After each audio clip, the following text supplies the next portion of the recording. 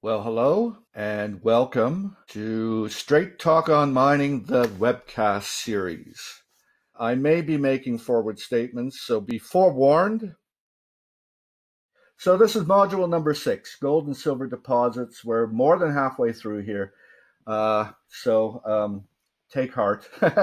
this is from the Hishikari mine, which is uh, arguably the, the uh, highest grade uh, gold silver mine being mined today by Sumitomo Minerals. And you can see beautiful, beautiful black ginguro bands through this and running almost uh, a kilo, kilogram of gold per ton and over three kilos of silver per ton. Incredible, incredible high grade stuff. Lovely, lovely stuff. So, again, very, very important to understand where you are in the gold zone, uh, in, in the system here vertically. And alteration here uh, also uh, gives us uh, clues, but I won't go into that because it's a little bit more advanced.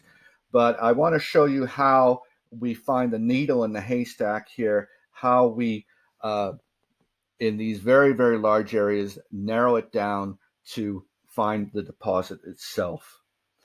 And this is a real good clue. So this is from the south of Fruta del Norte, occurred on surface, and you see all these crisscrossing uh, structures through here. And um, I have to thank a geologist from New Zealand by the name of Peter Grieve, who first uh, uh, showed me this and was whooping up and down, saying, Gosh, you know, you're very, very close to the gold zone here. And uh, he said, This is what's called calcite replacement texture. This is a lattice work of quartz, quartz crystals, which have replaced calcite.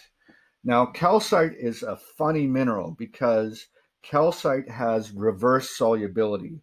A thing like a sugar cube will melt faster in, uh, in coffee in hot water than it will in cold water. Calcite actually will uh, dissolve faster in cold water than it will in hot water. So uh, it is precipitated. It comes out of the uh, the solution in the veins, forms crystals in the veins, and then as it cools down, the crystals will dissolve and be replaced by quartz. And quartz is something which is almost indestructible. It's very, very, very hard, and uh, it doesn't weather easily, so it doesn't really weather at all. So this is going to persist in the geological record. And when we find this, we whoop up and down because this is indicative of a boiling zone and the gold and the silver are going to be close by. Here's a sample from the Golden Cross mine, uh, North Island, New Zealand. And again, you can see this crisscrossing lattice work uh, in its open space filling here. And this is beautiful, beautiful looking stuff from an active gold mine. Here it is at Hishikari. Uh, the first uh, slide here was from Hishikari. You can see sometimes they're parallel, sometimes they're crisscrossing, but it's beautiful, beautiful stuff.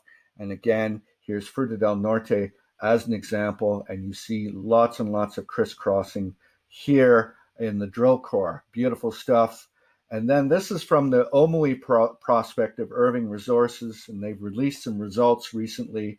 And I got very, very um, uh, uh, very uh, uh, impressed by this, I must say.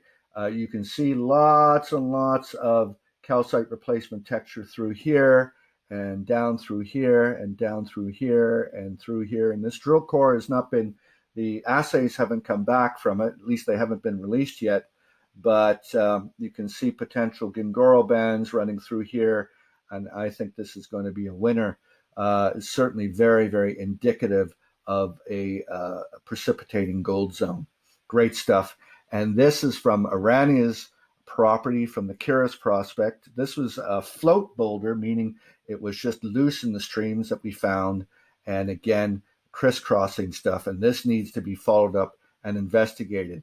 Again, at things like Yawi and Crunchy Hill, we don't have this kind of stuff because the erosional profile is such that it hasn't bit down into it and revealed this like it did at Fruta del Norte and at other places.